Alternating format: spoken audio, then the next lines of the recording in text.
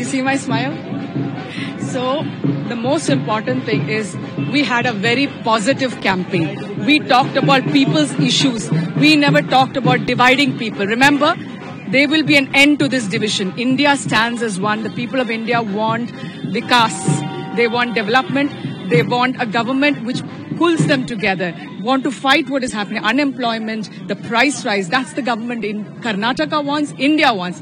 They are fed up of this Hindu, Muslim, that one, this one. So we'll see the results. We are seeing it. Of course, the five guarantees. I mean, at the end of the day, the gas price is important.